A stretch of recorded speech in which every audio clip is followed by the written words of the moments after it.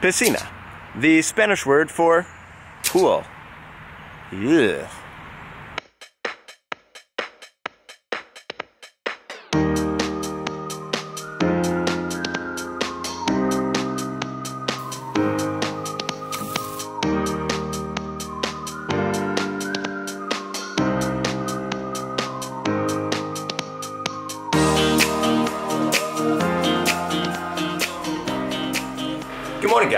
And welcome to another beautiful day here in Chile.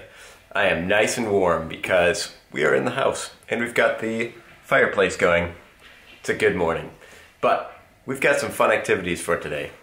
Let's go. Wait. After I eat this.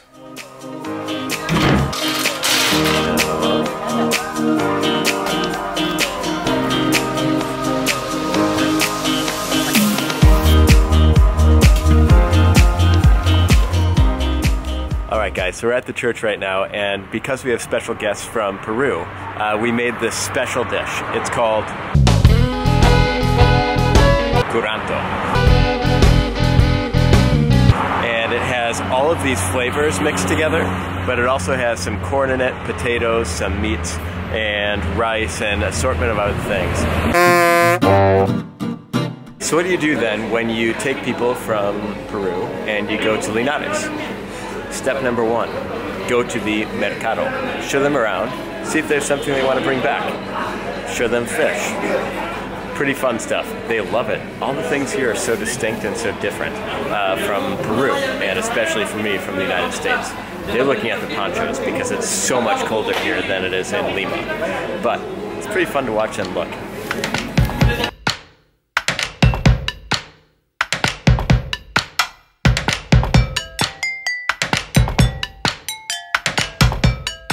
These things are pretty cool. These are for lemons, and it's to extract the juices, but it's mapuche, and it's so practical. So if you come here, take a look for one of these. We use lemons all the time here in Chile, and it makes so much sense. Squeeze the rest of the juice out with this thing. Thank you, Mapuche.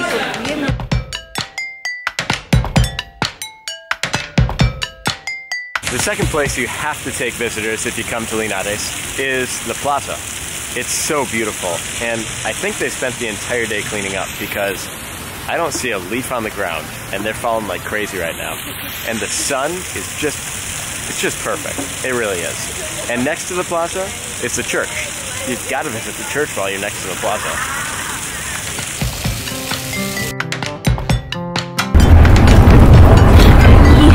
Grabar un video de eso con cuatro personas Ay, y una otra ahí.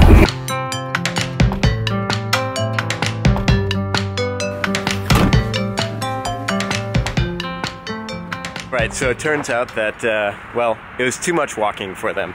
Um, they really like to walk, but not very much. So we saw the plaza, we went to the mercado. If I could, I would go into the church as well, but uh, they were tired. So um, we came to where they're staying because, well, they wanted to use the restroom. And um, we are here right now checking out El Bosque.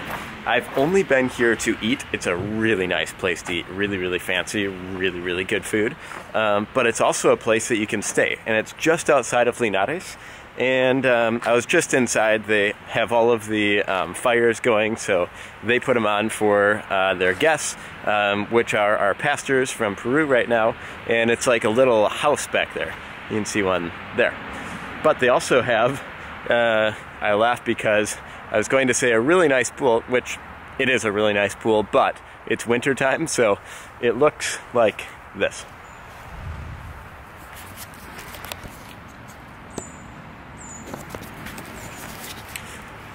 There is no way, even if it was really, really nice outside, that I would jump in that pool. But um, it is a really nice place to stay. I'm really impressed by it. Let's go check out some more, huh?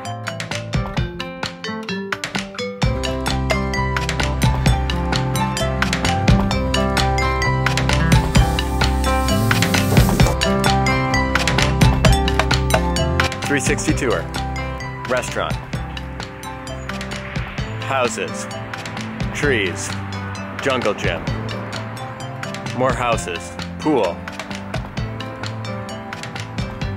sun, house. That's a 360 tour. So if you are new to this channel, I hope that you've realized by now that I love Chile. I really do. Every country has its problems. And I think everyone in that country knows that there are problems. And, well, I'm from the United States, and there are a lot of problems there as well. And there always have been. So I try and highlight all of the awesome parts of Chile. And I'm not going to say much negative because there's not much to say that's negative. I really enjoy Chile, and I hope I can live here for a long time. But an update on that. I'm still waiting on my uh, permanent residency. I am getting a little nervous because it's been since last October, but I've been told that the paperwork is so backed up. It's backed up for uh, what is it, 80,000 people applied this last year to be a resident of Chile, which is, I don't know, 100% more than it was the year before, something like that. But a lot of people want to live here in Chile, and I can totally understand why. If you are thinking about coming to Chile, though, I know that a lot of you have reached out to me, and thank you for that. I really appreciate that. And I really hope to meet many of you um, someday soon because a lot of you want to come to Linares now after, well, lots and lots of videos about Linares. But it is a really cool place, and I hope that I can connect with you if you do come here. And uh, there's a lot of places that I would take you if I could. And if I have the time, I will. But I guarantee, if I meet you, we will have a true cow beer.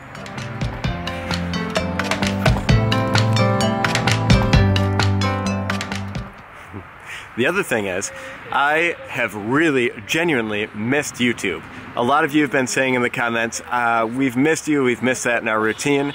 I have missed it too, so, so much. And I think that's why I haven't been sleeping very well lately, because I am so excited to think of new ideas and to do these ideas. And I don't know if you've noticed, but I did my first ever full color graded uh, video yesterday. And I liked how it turned out. What do you think? Leave it in the comments below.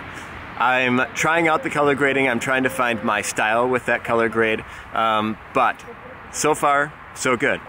And really, this YouTube thing is an awesome hobby to me. I really, really, really enjoy it. So it's fun for me to try out different uh, color grades. And if you have any opinions of um, what works well for you, if you're a YouTuber out there or know more than me, which you do if you've ever color graded before, then leave it in the comments below or reach out to me on Facebook. All of my social media links are linked below. Check it out in the description. Reach out to me. I'm willing to listen. I'm learning too.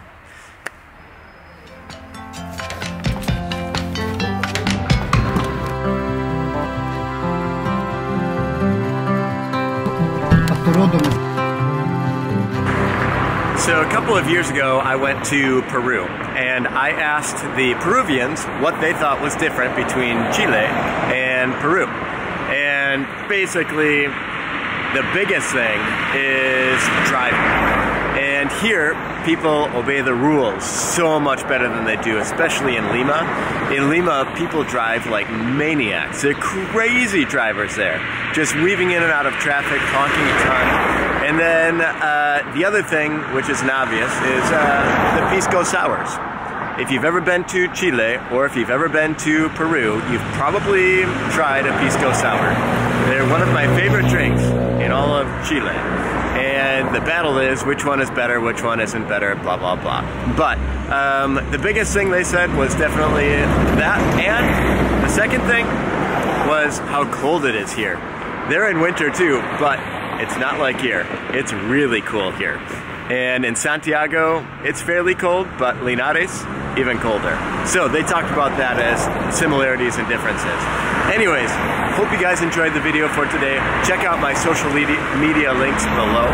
And can't wait to see you guys next time. Hope you enjoyed the video. Give it a big thumbs up if you did. And we'll see you guys next time. But for now, ciao pescao.